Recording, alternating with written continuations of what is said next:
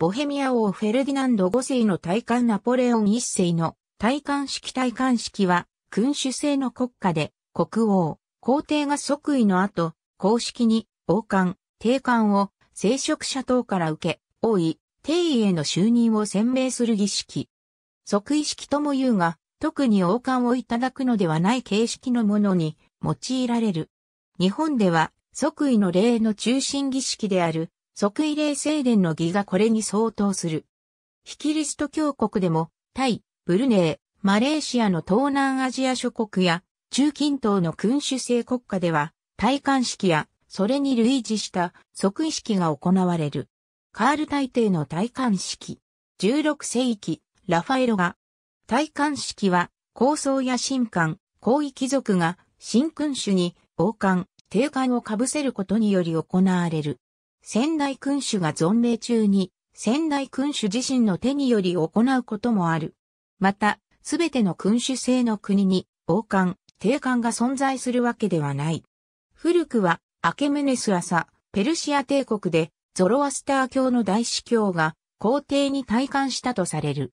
キリスト教国では、高僧が新君主の頭に聖油を注ぎ、神への奉仕を誓わせる儀式が主体となる。このため、イギリスでは、性別式、フランスでは、生成式と言われた。性別式の起源は、旧約聖書の列王記下に記された古事にある。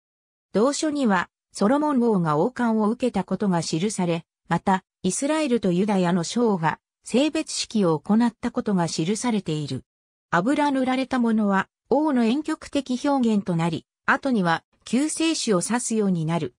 ヨーロッパ大陸ではカール大帝が西ローマ帝国を再興してローマ教皇から帝冠を受けた西暦800年から皇帝フリードリヒ三世がローマに赴いてローマ教皇から帝冠を受けた1440年まで聖意を注ぐ慣習が行われた。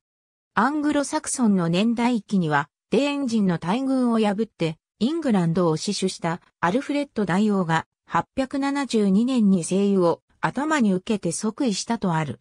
また、1066年にはハロルド2世がロンドンのウェストミンスター寺院で戴冠式を行ったと記録され、12世紀まではローマ教皇から王冠を受けた。その後、多少の改変はあったものの、1189年のリチャード1世の時、イギリスの戴冠式の様式がほぼ確立した。カトリック国では国王、皇帝のほか、ローマ教皇が即位する際にも戴冠式が行われた。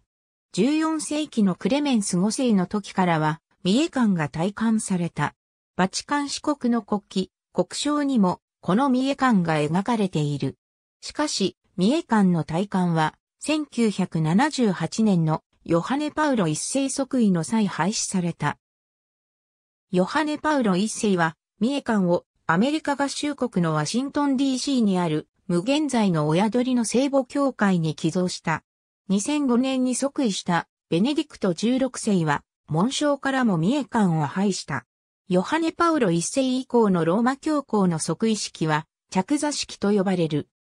1977年12月4日には、中央アフリカ共和国のボカサ大統領が約2000万ドルもの拒否をつぎ込んで税を尽くしたフランス風の戴冠式を行い、中央アフリカ帝国初代皇帝ボカサ一世に即位した。イギリスの戴冠式で用いられる宝物イギリスの戴冠式はロンドンのウェストミンスター寺院で行われる。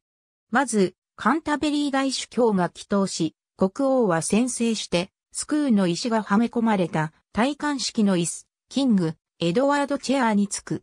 大主教は国王の頭と胸、両手の手のひらに聖油を注ぐ。次に国王は絹の包囲をまとい、宝剣と王爵、王城、指輪、手袋などを授けられ、大主教の手により王冠をかぶせられる。国王は椅子に戻り、列席の貴族たちの祝辞を受ける。その後、国王の配偶者も宝冠を受ける。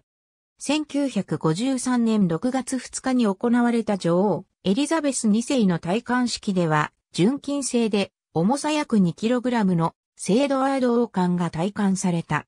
この王冠は重すぎるため戴冠式以外では用いられず、その後の儀式では、インペリアルステートクラウンが用いられている。この式の際には、日本から皇太子、明仁親王が昭和天皇の名代として列席した。1996年、戴冠式用の椅子である、キングエドワードチェアにはめ込まれていた、スクーンの石が、スコットランドに返還された。スクーの石は、1296年に、エドワード一世が、スコットランドから持ち去ったもので、スコットランド征服の象徴として、歴代イングランド王の戴冠式で王の尻に敷かれていた。ありがとうございます。